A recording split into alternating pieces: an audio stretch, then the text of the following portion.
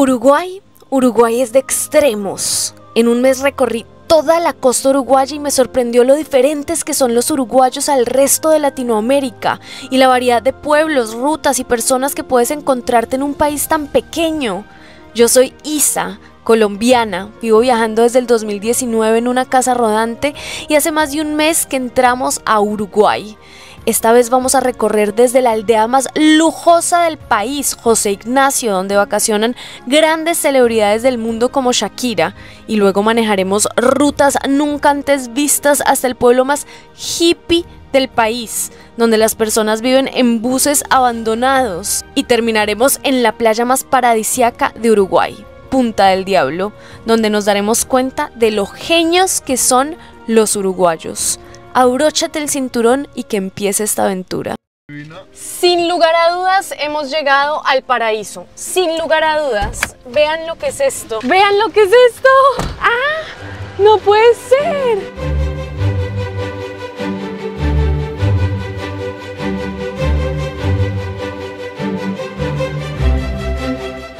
Vamos a ir caminando hasta el faro José Ignacio que queda allá atrás y mientras tanto, les voy a ir contando unas cosas que me vuelan la cabeza de este lugar. Empecemos por lo primero. Shakira y Elon Musk han vacacionado acá. Con eso les digo todo. Hoy en día alquilar una casa de estas una semana está entre los 10 mil dólares y los 70 mil dólares. Y se dice que tiene 290 habitantes, pero fijos, fijos tiene 40 habitantes y tan solo desde el 26 de diciembre al 5 de enero llegan 8 mil turistas por día. La playa está llena de estas cosas. No sabemos muy bien qué es. Creemos que de pronto medusas. Me da miedo tocarla. A ver. Es duro, mono, es duro. Ay, sí, hay unas que son llenas de agua. Demasiado extraño. Si alguien sabe estas cosas que son huevos de ballena, porque está... Ahí se los presento. Ahí se los presento. Huevos... Y lo peor es que yo le vuelvo y le pregunto, como si no lo conociera. ¿ah?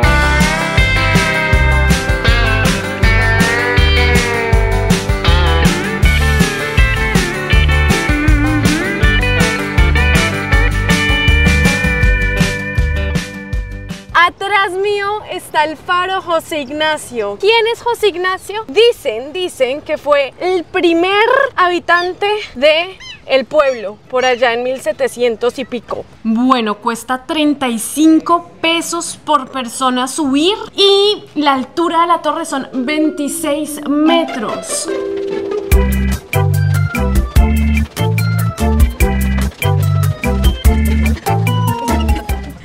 Te cansas? Sí, sí, sí. No soy, no soy capaz de respirar ni siquiera ya. Colombia. Bueno, llegamos aquí arriba. Ahí claramente está la lucecita que se alumbra por la noche. Estoy ahogada. Subí esos 25 metros a todo, a tope. Pero bueno, vamos a pasar por este lugarcito. Gracias. Gracias. Vean la vista. Wow.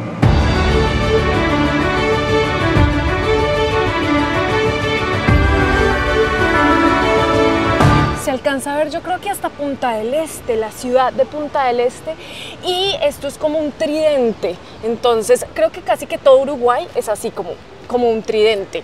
El faro está en una puntica, Punta del Faro, José Ignacio, y después viene otra playa al lado.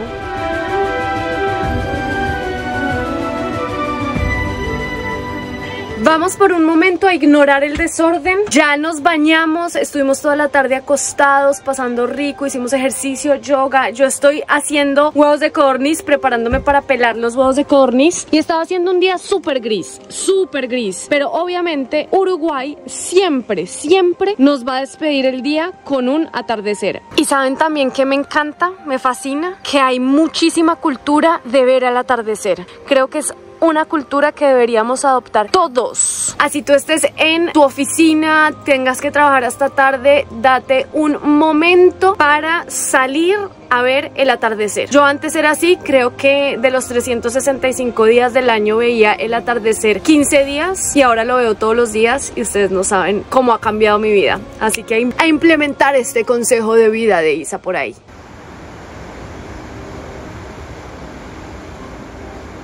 Nos despertamos intrigados porque veíamos una aleta de algún animal jugando allá y lo hemos encontrado. Puede que esté, o sea, como que está raro, gente. O, o, está triste, o está aburrido, o se está muriendo, o si ven que tiene como una cosita en la panza, entonces creemos que de pronto está dando a luz porque también está muy gordo. Quién sabe si si esté bien o no. Nos dijeron que en las costas uruguayas hay gripe avial y que por esa razón se están muriendo muchos lobitos marinos. Así que no sabemos si esté bien, pero pues está en la mitad del océano. Nos estamos despidiendo de José Ignacio y cuando los lugares son así de paradisíacos, ustedes no saben lo que cuesta irse. Estamos yendo hacia la Laguna Garzón y vamos a ir a ver otro puente raro y extraño de Uruguay.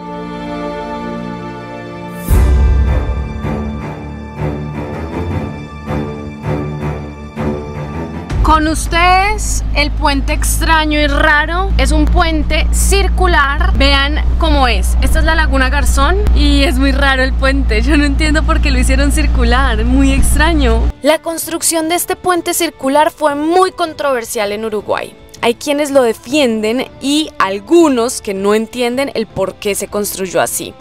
Dicen que fue diseñado para proteger el ecosistema existente, que se proyectó con la menor cantidad posible de pilares y su forma reduce la cantidad de sombra que cae en la laguna. El que lo diseñó dice también que fue diseñada como una laguna dentro de la laguna. ¿Ustedes qué piensan del puente? ¿Les gusta? Vean, vean, el puente circular de la laguna Garzón. Es raro, es extraño la primera vez en mi vida que pasó un puente circular. ¿Cierto? Sí, porque como para ahorrar materiales, no, se gastan 10 veces más materiales en un puente circular, la verdad.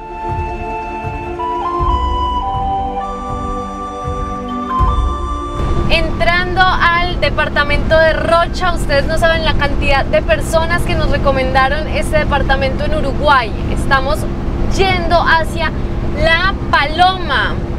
Se supone que es donde más viajeros en Uruguay hay.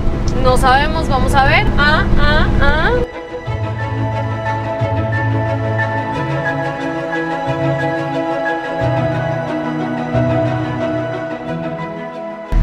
Bueno, esto es básicamente un barrio entero de casas rodantes. Parece que algunas hasta que viven ahí, ¿no? Pareciera. es probable. es probable. Wow, muéstrale a la gente, mi amor. Ah, cantidad de gente. A nosotros, como colombianos, no nos va a parar de sorprender que uno hayan barrios viajeros así, con tantas campers, eso no se ve en Colombia, y gratuito, municipal, en La Paloma, en Uruguay. No, aparte aquí está el barrio viajero y aquí, espérense un segundo, espérense, paso por acá, paso por acá, paso por acá. Río, ¿qué hay acá? Muéstrale a la gente.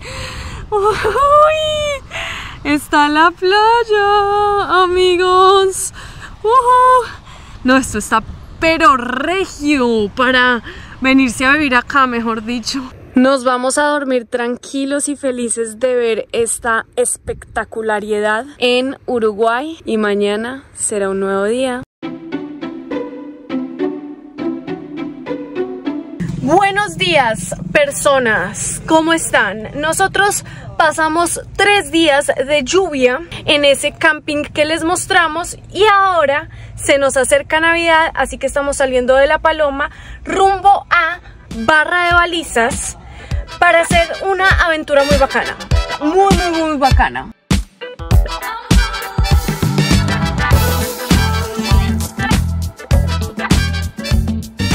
Se viene tormenta. Yo quiero que ustedes vean. Suelta el timón, Rick. 3, 2. Ay, nos hizo quedar mal. Ya lo está tapando los, los árboles. Ustedes no saben el viento que hay. Fuera de chiste, de verdad. O sea, se los juro que hay un viento eh, asustador. Mira, 1900 pesos. 1900 pesos un camping por persona, decía ahí. Caro, barato. Ni en pedo. Ni en pedo, ni en pedo. Ricardo. Sí, sí, sí, sí, sí, pero ni en pedo. Dios mío, no. Son 1900. 1900, esos son 200 mil pesos colombianos. Son 50 dólares. 50 dólares. Son 50 dólares. What? Por una noche de camping. What? Estamos entrando a barra de balizas, señores. Vean que es eh, camino de ripio. Nos pensábamos que iba a ser como una ciudad grande como las que hemos visitado, pero parece ser que no, que es como mucho más hippie, artesanal, o como más casitas así, más humildes. Miren, hiposo, una combi abandonada en la calle, como más rústico. Barco. Vean, barco abandonado, hay un bus abandonado, la prisa mata. Parece Re... ahí parece que. Ay, sí, ahí, ahí vive gente. Oh, what? Pero vean las casitas como lo curiosas. Me gusta, me gusta este Uruguay, me gusta, me gusta. Así como hippie. Esto es lo que venía buscando hace rato. Uf, y el lugar al cual hemos llegado. Uf, brutality.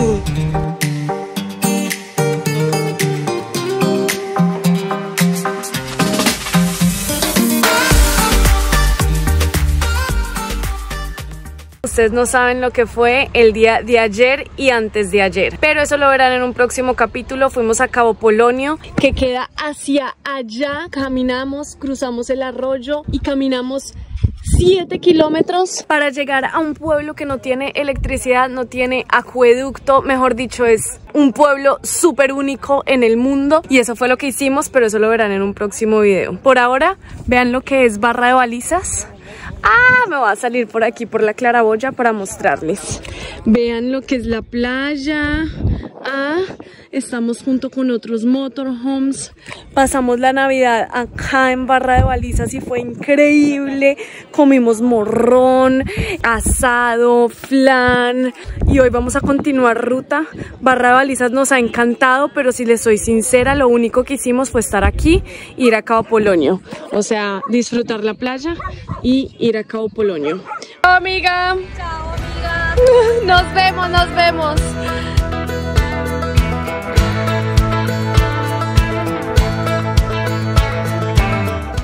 ¿Cómo vas? Todo bem, muito bem, muito bem. Você, Practicando. ¿cómo va você? Saben, está súper verde la ruta, súper, súper verde,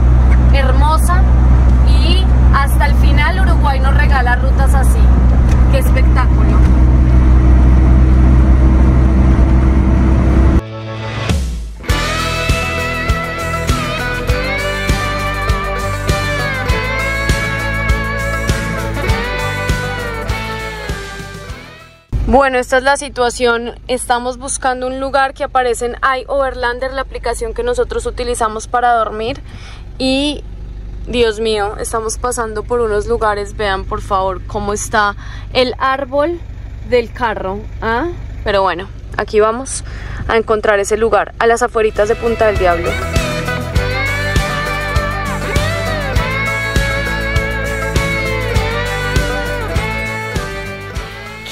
Lugar al cual llegamos? Allá está la clandestina, ¿cierto? Primero solo, o sea, completamente solo, es una calle sin salida que da con una vista al mar, pero tremenda vista. Y por acá podemos ver toda una playa exquisita. No, oigan, espectacular, vean toda la playa, queda todo el círculo, es como un cabo, todo el círculo así.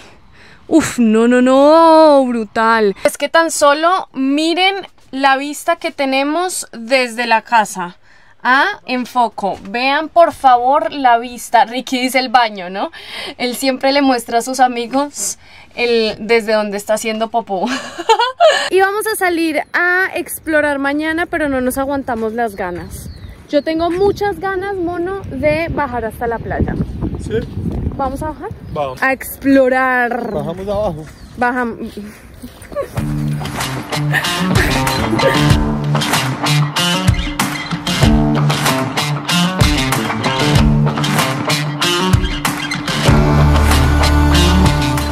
Y saben algo, no está tan grave el viento. En este momento les estoy hablando sin micrófono y estoy pudiendo hablar. Y eso no pasa básicamente en ninguna parte en Uruguay. No está tan, tan grave. Punto positivo para esta playa.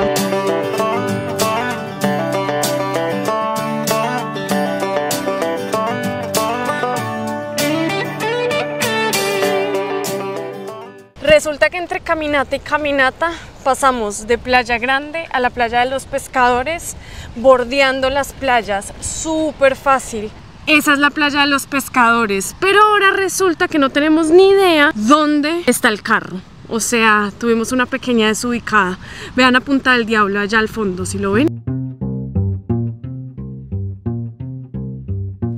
Ya se está oscureciendo y no sabemos por dónde regresar, así que así tomamos las decisiones importantes en esta casa. Tin Marín de dos pingüe, cúcara, mácara, títere fue, este cochino marrano fue, en la varita de San José. Cochito, serás tú, para siempre tú. Por allá.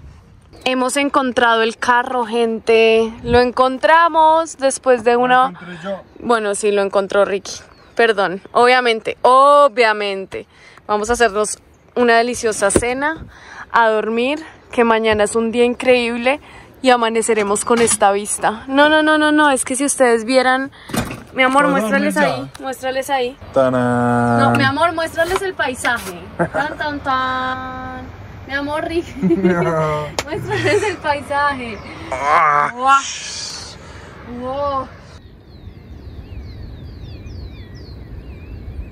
Hoy fue la primera vez que vi el amanecer saliendo por el océano Atlántico. De hecho, fue la primera vez que vi un amanecer en el mar. Porque al lado Pacífico, en el océano Pacífico y en el mar Caribe, siempre se ve el atardecer, no el amanecer. Es demasiado extraño. En Cabo Polonio se ven los dos, pero no me levanté tan temprano para ver el amanecer. Así que esta es nuestra primera vez. Día de playita, gente. Llevamos aquí comida. Ricky lleva sombrilla, el agua de río. Dejamos por allá estacionada la Clande y nos vamos a ir a Playa Grande. Y vean quiénes llegaron. Nuestros amigos de Manada Nómada, obviamente. Voy a hablar acá porque esta vez no traje micrófonos y está haciendo viento como buena playa paraguaya. Amiga, yo, Playa, espérense, tengo, tengo que volver a empezar. Paraguay no tiene mar. Playa. Tengo que volver a empezar. Paraguay dijo. Me fui a Paraguay. Bueno, me metí aquí atrás de esta sombrilla porque está haciendo bastante viento. Como buena playa uruguaya, hay mucho viento. Amiga, saluda. Qué difícil vida. Ricky, Ricky. Qué, qué vida tan difícil, amiga. Muy estresante vivir así. Un martes, martes 3 de la tarde. Bueno, vamos para adentro, con viento y todo, pero para adentro, sin pensarlo tanto. Así, como al estilo Bulma.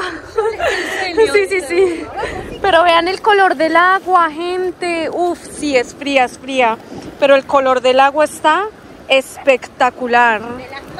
Sí, de las más lindas, sí, de las más lindas de Uruguay hasta el momento, sí, sí, sí. Vean esto, la estamos pasando bueno.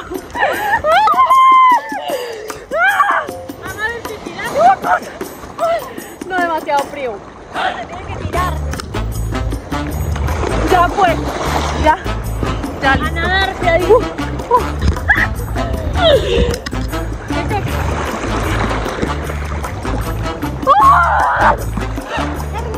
Sí, está hermosa, la verdad, sí. Está rica, está rica. El frío es mental, el frío es mental, el frío es mental, el frío es mental, el frío es mental, el frío es mental. Gordo, hoy el plan es sin ti, papá. Hoy el plan es sin ti. Sí. No tienes ni idea que hoy nos vamos a ir y te vamos a dejar con los tíos. Sí, sí, sí. ¿Vas a quedar con los tíos, papá? Bueno. Bueno. Chao, amigos. Santa Teresa. Santa Teresa, vamos para Santa Teresa. Santa Teresa es un parque nacional y por ende no se puede entrar con mascotas. Así que nuestros amigos que tienen dos hermosas mascoticas no lo van a cuidar. Gracias amigos de Manada Nómada, vayan a hacerles el aguante, como dicen en Argentina, por ser los mejores cuidadores de río en el mundo mundial.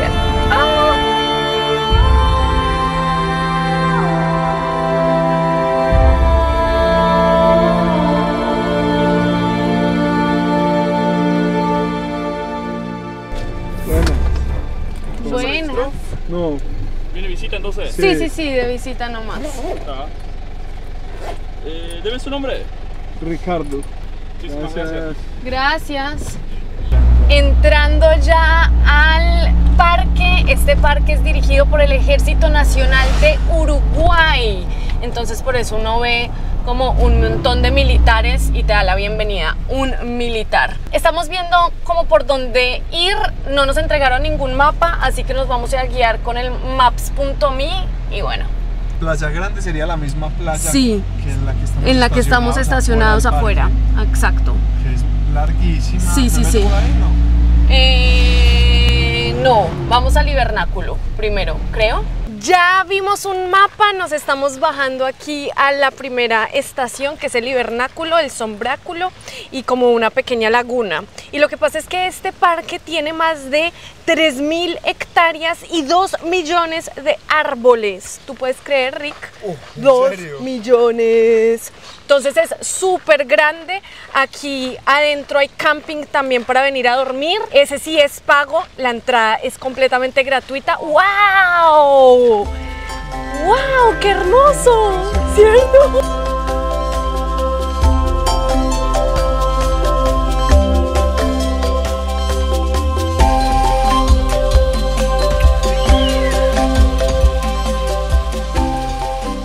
¡Wow! ¿Si ves a lo que huele? A mi olor favorito. Oh, sí. Petricor, petricor. Tierrita mojada, asfalto mojado. Ash, qué lindo.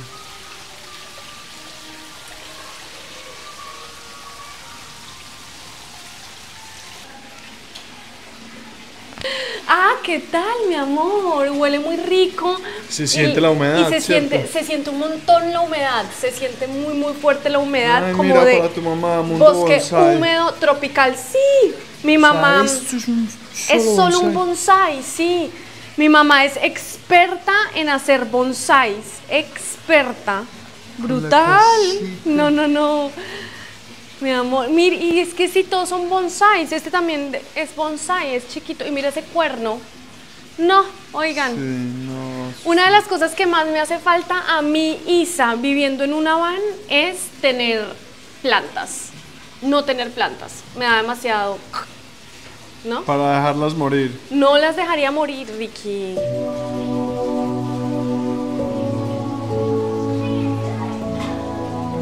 Todas las plantas que hay acá adentro parecen ser de bosque húmedo tropical. La paz que se siente en este lugar es impactante.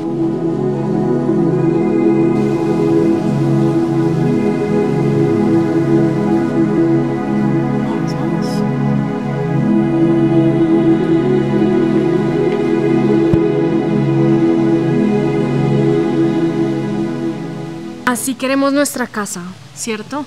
El día que tengamos una casa va a ser igualita a esta y vamos a poner una cama doble aquí, listo. O sea, es lo único que yo necesito en la vida. Oh,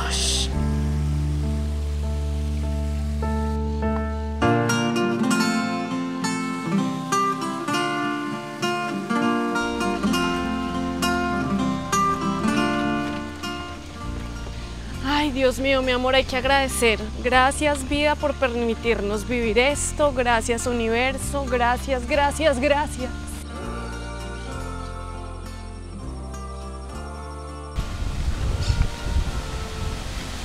Y ahora vamos a entrar al sombráculo, que la diferencia es que uno está completamente tapado y este tiene como sombrita nada más. ¡Qué cosa tan divina! No, no, no, no, no.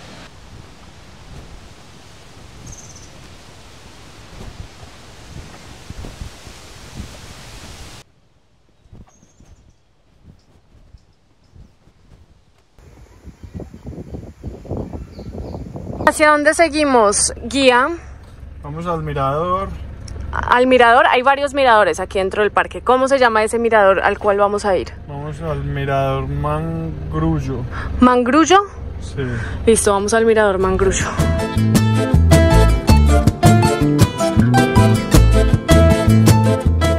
La verdad es que el mirador no tiene cara de nada, pero vamos a subir a ver qué se ve desde allá arriba. Es esa casetica de ahí. What?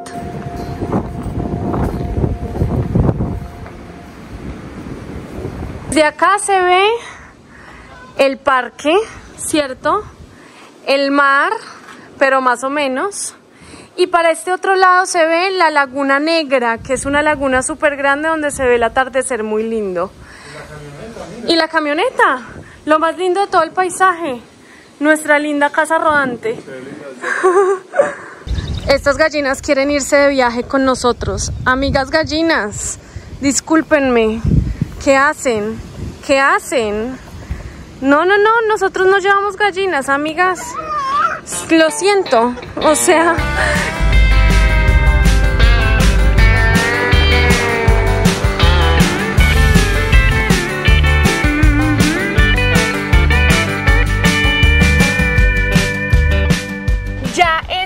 temporada alta aquí en el Parque Santa Teresa. Se llenan los campings que hay, las cabañas que hay, llena. Y obviamente se llenan también las playas. Desde el primero de enero hasta el 15 de enero, básicamente recibe a casi que todos sus turistas. La gente nos mira súper extraño porque venimos con chaqueta a la playa, pero es que honestamente, uy, no, no, no, el ventarrón en pleno verano. Siento, es Y muy no, frío. no, no, es muy frío el viento. Dios mío, ese niño cómo nos está congelando. Esta es la zona de camping, una de las tantas zonas de camping del parque. Y vean que tiene asador, mesitas, qué buen lugar para acampar. Y qué buen lugar para venirse a pasar fin de año. Qué cultura la de Uruguay, la de Argentina, la de Chile, de acampar. Me encanta eso.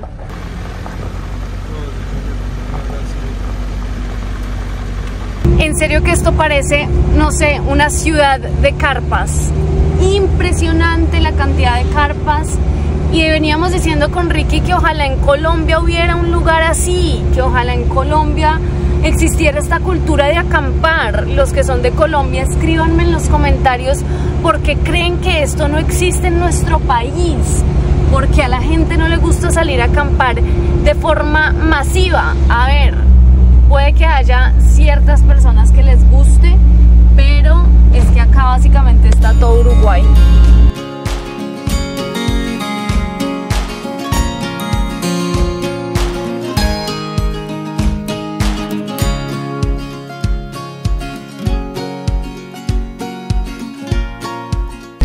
Vean eso, esa que ven ahí es la fortaleza Santa Teresa, construida en 1762. Empezó a ser construida por los portugueses y después siguieron los españoles.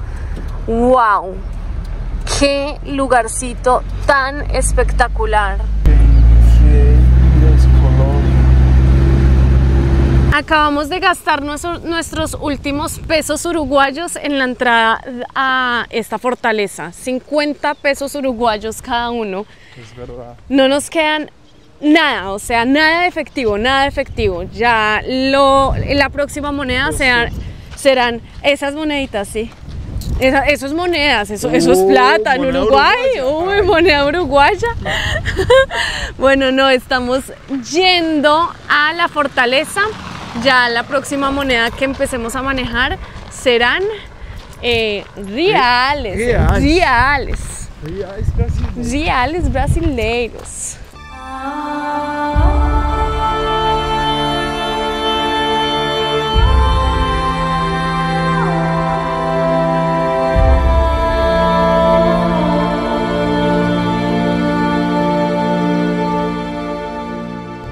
Las tantas fortalezas que tiene Uruguay, ya conocimos la de Colonia, la de Montevideo y ahora esta en Santa Teresa. Muchas, muchas fortalezas para protegerse de las invasiones, ya sea de los portugueses, británicos, españoles, dependiendo de quién la haya construido.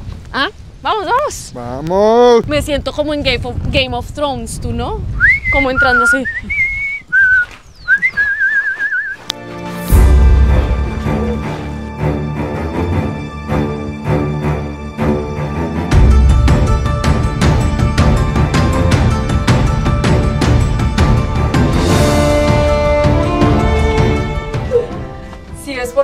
Por los huequitos por los que miraban en ese entonces al enemigo. Ton, ton, ton. Y por aquí pueden ver, pero pues es difícil que entre un misil o algo. O sea, uno aquí está súper protegido de cualquier mal. Igual cuando eso no existían los misiles. ¿No? No. Entonces, ¿con qué se daban? Con proyectiles de, de los cañones que hay aquí atrás, pero no eran misiles. Bueno, también entonces se protegían de los proyectiles. ¿Tú te imaginas uno estar viendo aquí a su enemigo y decir, un, dos, tres, cañón? Pa, pa, pa.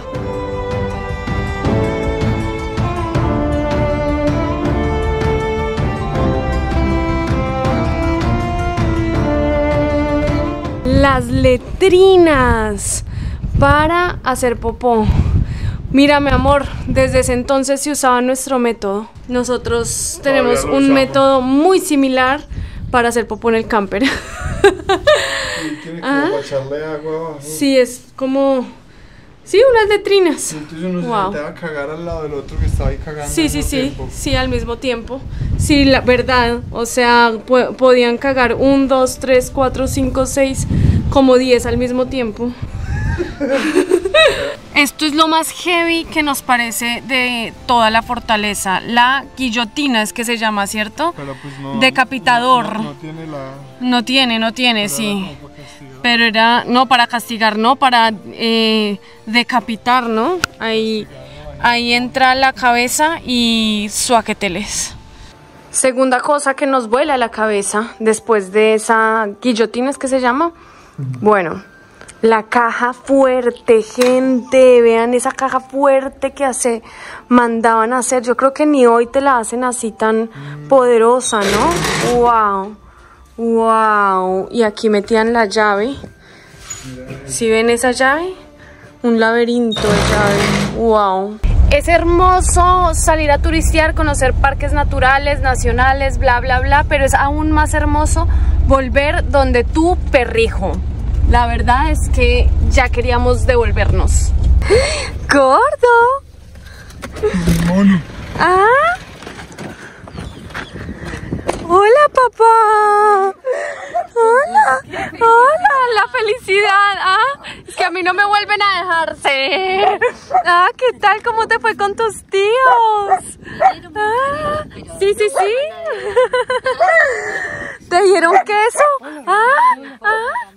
Este video quedó más largo de lo normal y espero que todos hayan capturado un poco la esencia de no solo los uruguayos, sino los lugares uruguayos por los cuales pasamos en este video. Me queda a mí el ver el atardecer todos los días, la calma con la cual esta gente va a la playa, la capacidad de estar al aire libre sin importar el viento, la capacidad de acampar en familia, así se tengas mucho, mucho dinero, no importa, vas y acampas y eso me pareció increíble y la tranquilidad. Así que nos vamos despidiendo de Uruguay de una manera, oigan, increíble. En el próximo capítulo van a ver nuestra expedición por Cabo Polonio, ese pueblo sin electricidad y sin acueducto, eh, bastante alejado de la civilización. Nos vemos en un próximo capítulo de Isa por ahí, Ricky Río.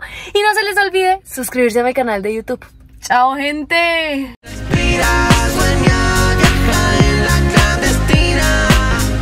Por ahí, pasa por ahí